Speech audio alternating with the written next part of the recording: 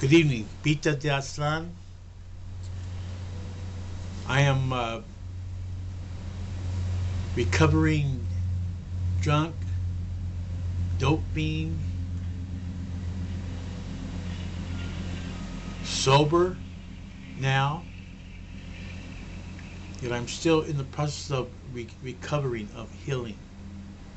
And this could very well be a lifelong process.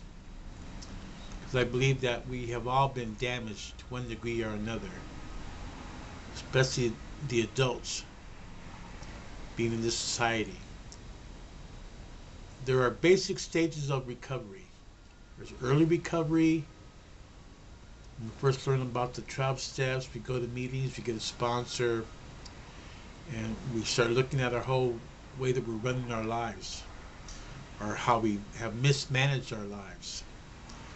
Then there's the middle stage when we become more stabilized. We're getting solid in our sobriety and we're able to help others.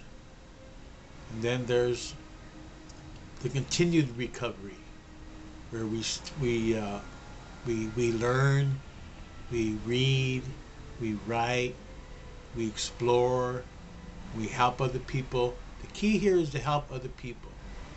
Progressive recovery emphasizes helping others, getting out of your own ego mind, and getting involved with your whole spirit, with your whole being, and helping other people, and helping to produce conditions that will make people be creative, constructive, and more empowering people.